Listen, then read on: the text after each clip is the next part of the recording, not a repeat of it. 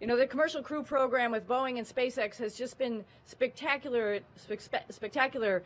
Um, watching the innovation from both companies has been amazing. Um, I'm specifically looking forward to seeing them live up there because uh, our crew, my crew, is going to be the complimentary crew on this Boeing Starliner probably at the end of next year. So um, this is an exciting time for all of us, watching them pave the way so that uh, we, we can do low Earth orbit with commercial crew, and then we can move on to the next big steps.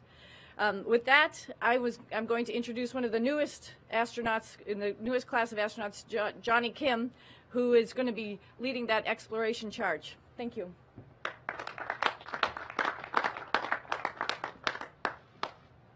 Hi, good morning. I'm, my name is Jonny Kim, and I'm honored and privileged to be here. It's crazy to be uh, thinking about what we're going to be doing tomorrow.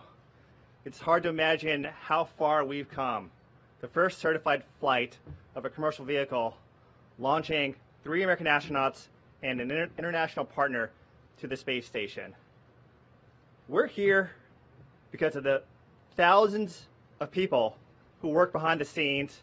We truly stand on the shoulders of giants, from former astronauts to our administrator and our international partners. We wouldn't be here if it wasn't for everyone. You've heard of all the benefits that commercial crew program is bringing to the American people, to humanity. But what I'm most excited about is being able to see four of my friends launch on that rocket tomorrow.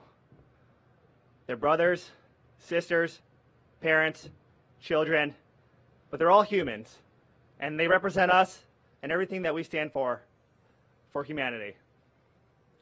And the, success, the successes of the commercial crew program and the ISS, which has been habited for 20 years, has set the stage for future space exploration as we go deeper into space, as we return to the moon and beyond.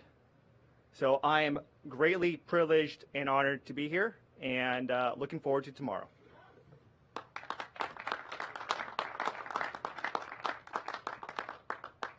Well, now, thank you. We'll start taking questions from reporters.